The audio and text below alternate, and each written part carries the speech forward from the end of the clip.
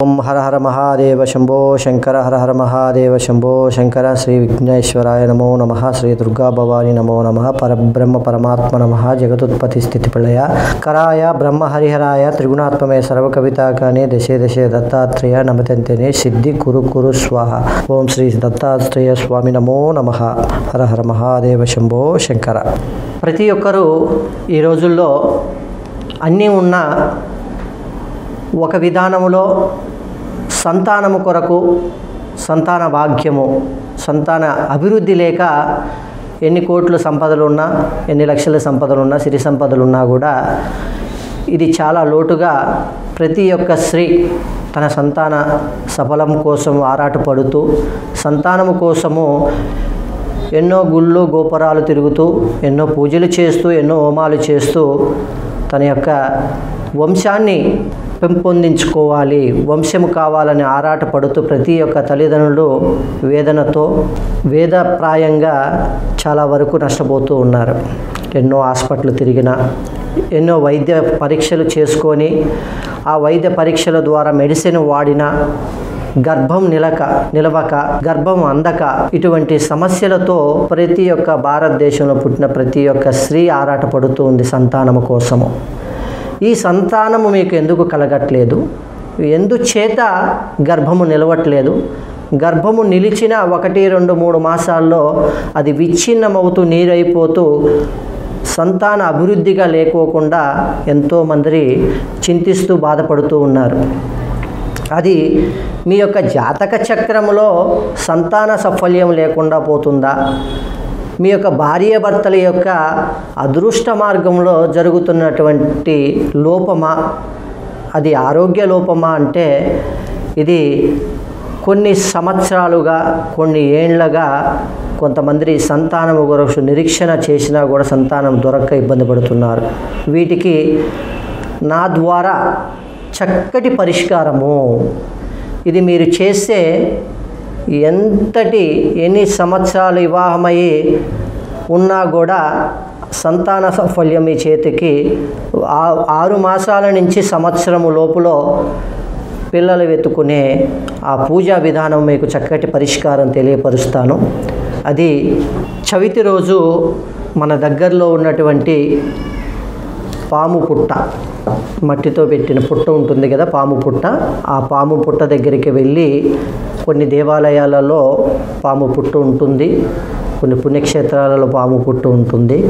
ఆ పాము పుట్ట దగ్గరికి వెళ్ళి భర్త భార్యలు ఇరుగురు సంతాన సఫల్యం కోసం పారాటపడుతున్న ఇద్దరు భర్త భార్యలు ఇద్దరు వెళ్ళి ఆ నాగేంద్ర స్వామి యొక్క ఆ పుట్టని దర్శించి పసుపు కుంకుమ పూలతో ఆ పుట్టని అలంకరణ చేసి ఆ పుట్ట చుట్టూ పదకొండు మార్లు ప్రదక్షిణలు పదకొండు సార్లు ప్రదక్షిణలు చేసి ఒక పావు లీటరు పాలను తీసుకువెళ్ళి స్వామివారి ఆ నాగ నాగ నాగేంద్రుడి యొక్క పుట్టలో పాల ద్వారాగా మీరు పోసి మీరు పాలదారిచ్చి మాకు పాలదారి ఇవ్వండి అని పూజించి వేడుకొని తిరుగు ప్రయాణంలో వచ్చే సమయంలో ఒక పిరిగెడు పిరికెడు పుట్ట యొక్క మట్టిని మీరు సేకరించండి తీసుకురండి. ఆ మట్టిని తీసుకొచ్చి ఆ యొక్క మట్టిని మీ గృహంలో మరుసటి రోజు ఆ మట్టిని తీసుకొచ్చి మరుసటి రోజు ఉదయాన్నే ఇంటిని శుభ్రం చేసుకొని తలస్నానం చేసి భార్యభర్తలు ఇద్దరు తలస్నానం చేసి లింగాకారాన్ని మీరు తయారు చేయాలి.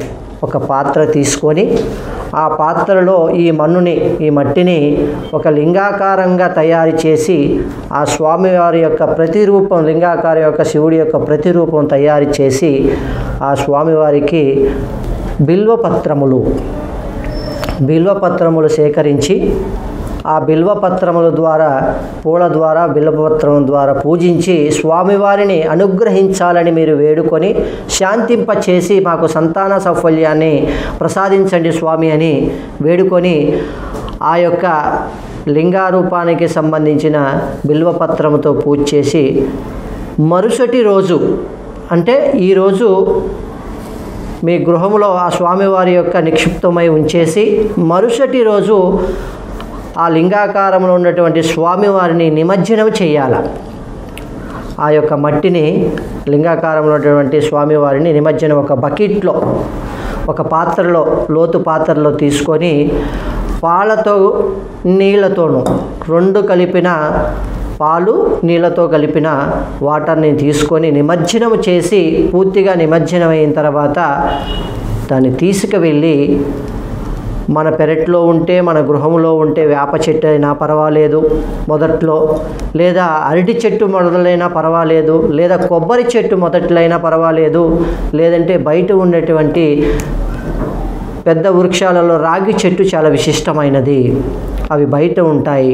మన గృహానికి కొంచెం బయట సమీపంలో ఉంటాయి కాబట్టి రాగి చెట్టుకి పోసి మొదట్లో పోసి సంపూర్ణంగా మాకు సంతాన సౌపల్యాన్ని కలిగించాలని ఏ ఆ- వృక్షానికి మనం వేడుకొని మా పైన మా మా యొక్క సంతానం పైన జరుగుతున్నటువంటి దోషాలను నివృత్తి చేయమని మనసారా ప్రార్థన చేసుకొని ఇటువంటి పూజా విధానము పదకొండు చవితుల రోజులు మాసానికి రెండు మార్లు చవితి వస్తూ ఉంటాయి.